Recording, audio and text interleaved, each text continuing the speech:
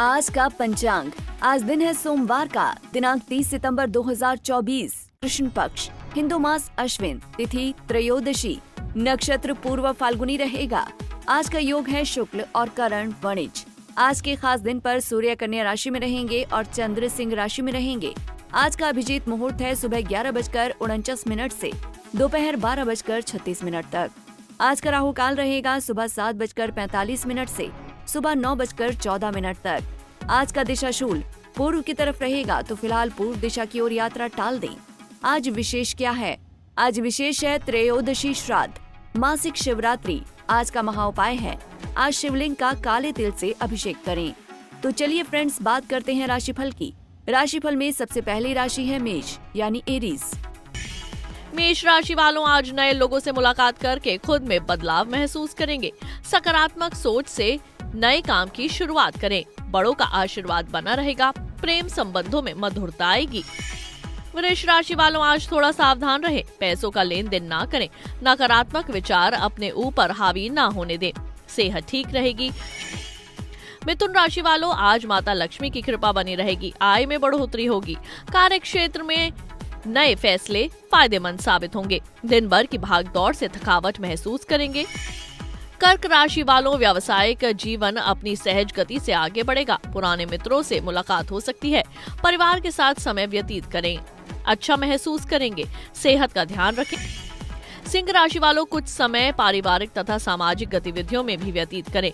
कार्य क्षेत्र में अनुभवी लोगों की सलाह अवश्य लें। बड़े बुज़ुर्गों का आशीर्वाद बना रहेगा। थकान और सिर दर्द हो सकता है। कन्या राशि वालों आज का दिन आपको सकारात्मकता और खुशियाँ देगा। परिवार के लोगों के साथ संबंध सुधरते नज़र आएँगे। व्यापार में भी बड़ा फ़ायदा हो सकता है। कमर दर्द की समस्या हो सकती है। तुला राशि वालों काम से संबंधित कठिनाइयाँ और टारगेट पूरा न होने के कारण आप चिंतित रहेंगे।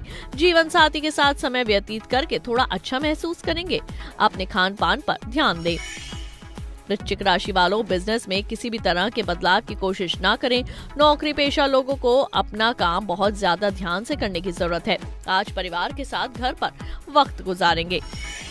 धनु राशि वालों, आज घर का माहौल खुशनुमा रहेगा। आर्थिक स्थिति भी ठीक रहेगी। प्रेम संबंधों में मधुरता आएगी। कोई भी काम शुरू करने से पहले बड़ों के विचार विमर्श ज़रूर ले लें।